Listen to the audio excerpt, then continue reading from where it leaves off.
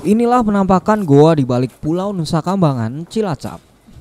Namanya Goa Masjid Sela atau biasa diartikan oleh masyarakat setempat dengan sebutan masjid di sela-sela.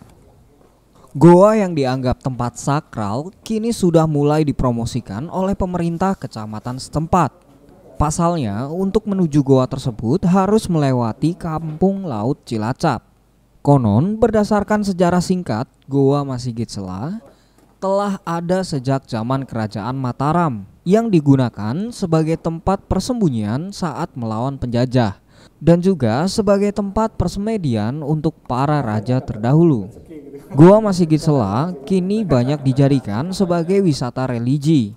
Di dalamnya terdapat stalagmit berbentuk tiang yang dipercaya akan mendatangkan keberuntungan dan terkabul doanya jika ada orang yang memeluknya serta terdapat petilasan dan batu besar mirip baskom tempat air yang terbentuk secara alami.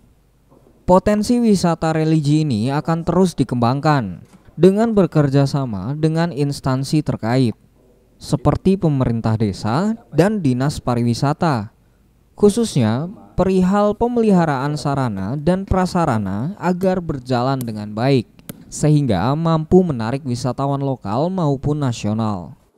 Uh, sebenarnya uh, kita hanya perlu perlu kerjasama yang bagus saja sebenarnya dengan uh, dinas pariwisata dengan desa terutama. Dulu pernah kita kerjasamakan seperti itu, namun demikian sampai dengan sekarang kayaknya perlu diperbaiki lagi hubungannya sehingga kita bisa merancang apa namanya ini objek wisata ini menjadi lebih baik lagi. Gitu. Potensi ya Pak itu untuk ya potensi. Karena salah satu pengembangan wisata di Kampung Laut salah satu objeknya adalah masih gejala. Hanya saja memang kita secara sarplasnya perlu kita perbaiki bersama.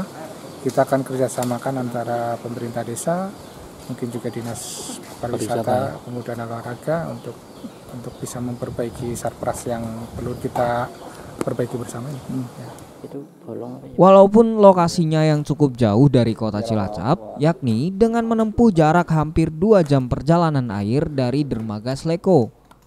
Namun, pengunjung juga akan disuguhkan dengan pemandangan hutan mangrove di segara anakan yang terlewati. Dari Cilacap, Ulul Asmi Satelit TV mewartakan.